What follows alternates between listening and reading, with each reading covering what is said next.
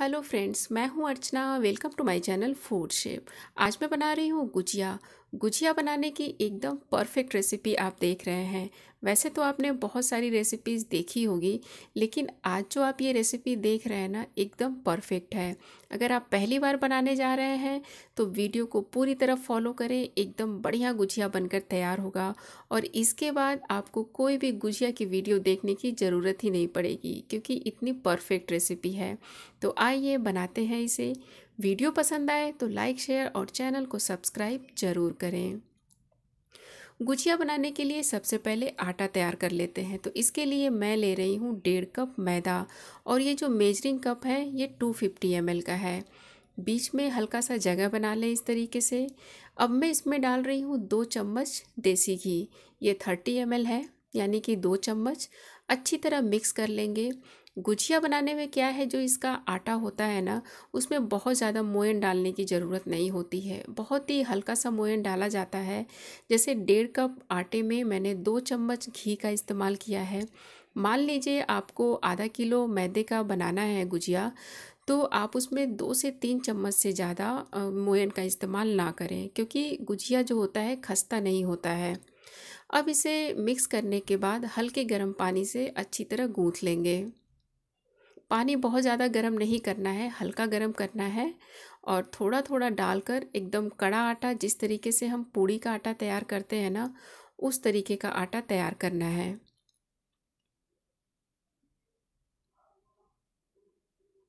बस, ये आटा मैंने तैयार कर लिया है। अब इसे एक साइड ढक कर रख देते हैं दस से पंद्रह मिनट के लिए। अब इसका मिक्सचर तैयार कर लेते हैं जो इसमें भरना है। तो एक पैन में एक चम्मच घी डाल दें। अब मैं इसमें डाल रही हूँ वन फोर्थ कप सूजी। ये बारीक वाली सूजी है, आप मोटी वाली सूजी का भी इस्तेमाल कर सकते हैं। गुजिया में सूजी भी पड़ता है और वो जो सेवई होता है ना, बारीक वाला, वो भी पड़ता है, उसे भी आप भून कर इस्तेमाल कर सकते हैं, एक से दो चम्मच। बस चार से पाँच मिनट ही भूनना है, ज़्यादा नहीं भूनना है। भूनने के बाद अब इसे एक बोल में निकाल लेंगे। मैं इसमें सेवई का इस्तेमाल नहीं कर रही हूँ। आप चाहे तो दो चम्मच भुना हुआ सेवई डाल सकते हैं। ये है खोवा, यानी कि मावा। ये घर पर ही मैंने बनाया है। एक लीटर दूध और आधी कटोरी जो दूध की मलाई है ना, उसे डालकर बनाया है मैंने। बहुत ही सिंपल है इसे बनाना। गैस के फ्लेम, हाई फ्लेम पर हमने लगातार दूध को पकाते हुए गाढ़ा करना है। जब वो अच्छी तरह गाढ़ा हो जाए तो तीन से चार मिनट के लिए उसे अच्छी तरह भून लें। बस ये खोवा यानी मावा बनकर तैयार हो जाता है।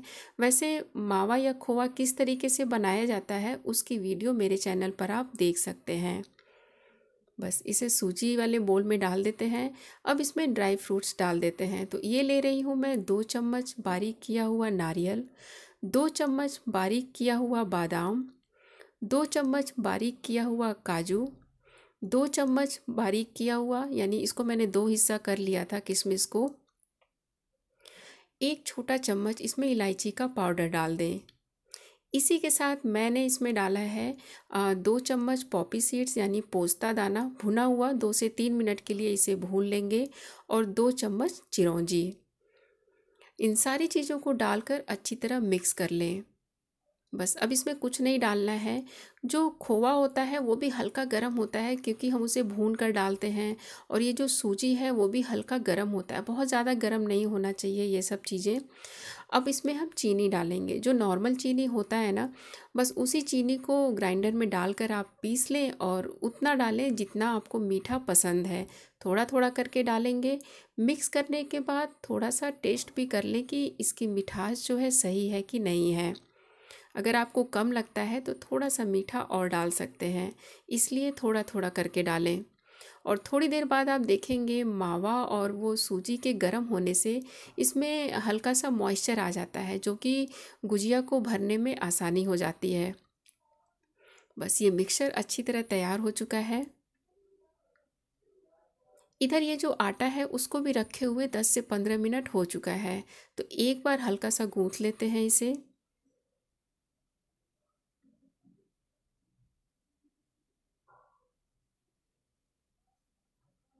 बस अब एक दूसरे बोल में निकाल लें और इसे हम कवर करके रखेंगे।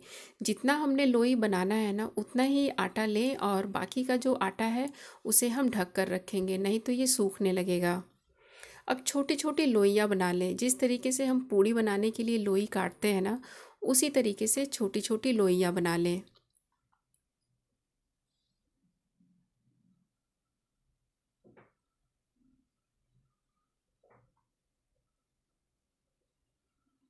सारी लोइयों को बनाकर हम ढक कर रखेंगे ताकि ये सूखे ना।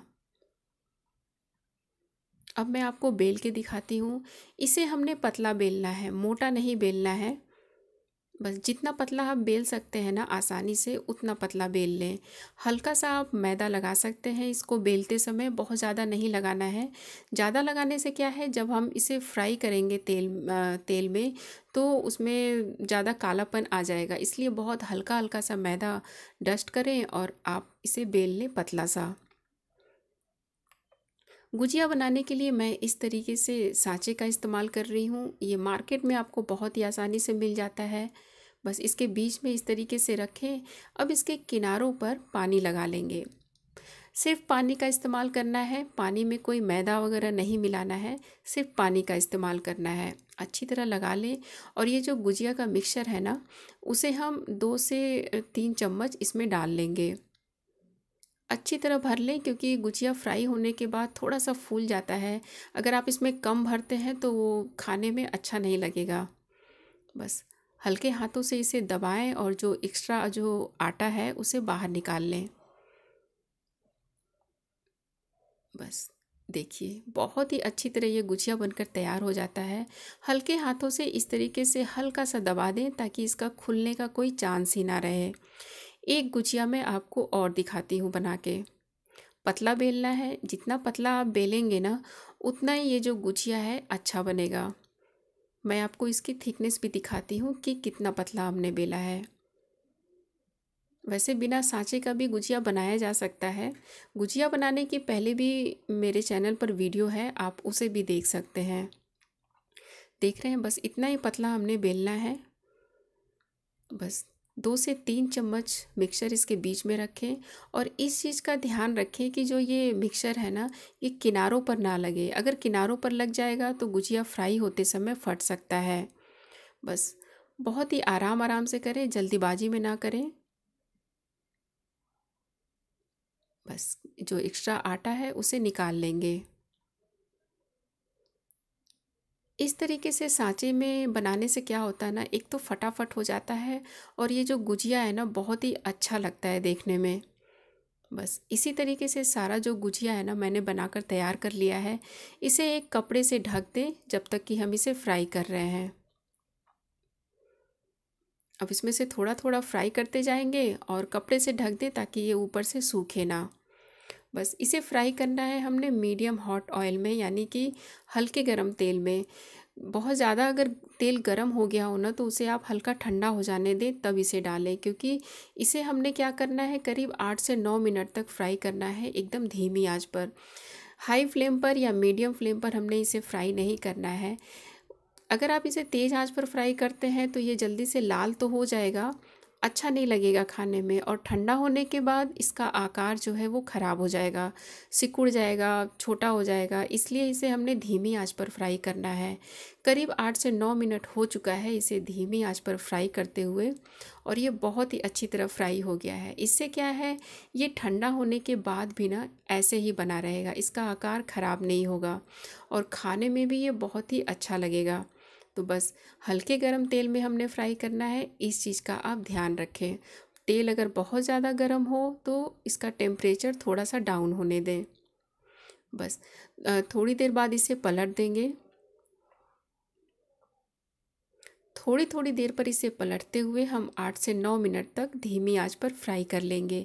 मैं आपको इतना डिटेल इसलिए इसलिए बता रही हूँ ताकि आप जब गुजिया बनाएँ तो एकदम परफेक्ट बने। आप गैस का फ्लेम भी देख रहे हैं, इतने ही फ्लेम पर मैंने इसे फ्राई किया है आठ से नौ मिनट तक। बस ये भी गुजिया जो है अच्छी तरह फ्राई हो गया है। और देखने में कितना अच्छा लग रहा है।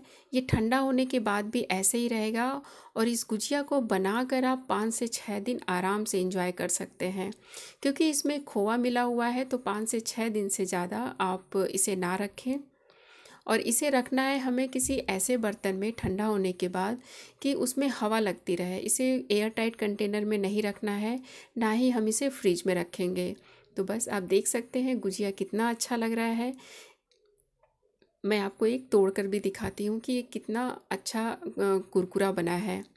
धीमी आँच पर फ्राई करने से क्या होता है, गुजिया का जो ऊपर का लेयर है ना, बहुत ही अच्छा हो जाता है, क्रिस्पी हो जाता है। बस उम्मीद करती हूँ ये रेसिपी आपको ज़रूर पसंद आई होगी। वीडियो पसंद आई हो तो लाइक, शेयर और चैनल को सब्सक्राइब ज़रूर करें। मिलते हैं नेक्स्ट वीडियो में। Thank you.